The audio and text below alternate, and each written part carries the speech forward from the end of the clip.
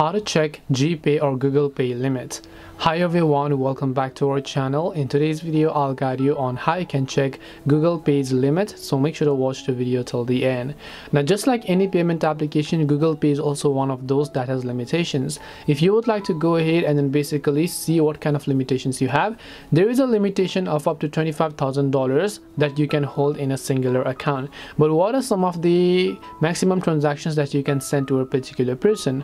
Well, to find it out, it depends upon whether you're verified or not verified your account. Either of those, you just want to make sure to go ahead and then open the Google Pay application here. After you do that, just hit the send a request money option.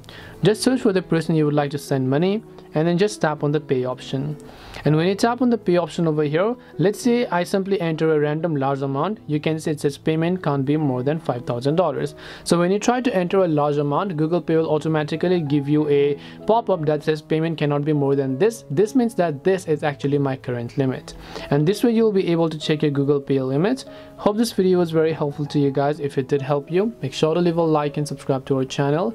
If you have got any more questions then feel free to also leave them down.